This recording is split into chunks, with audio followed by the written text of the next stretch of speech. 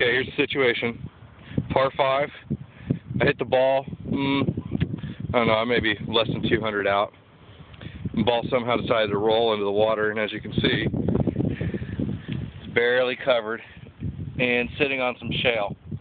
But there's a big ledge here.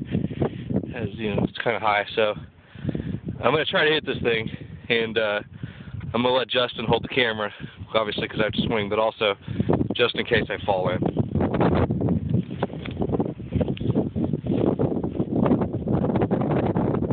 You got this, B. You got me.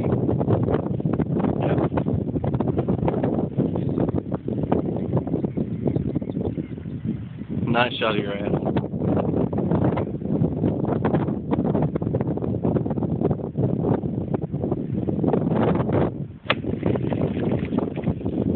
That was at the practice swing.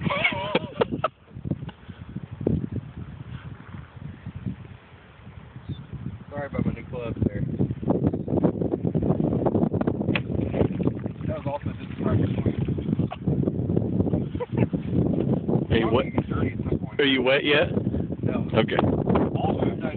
I saw that.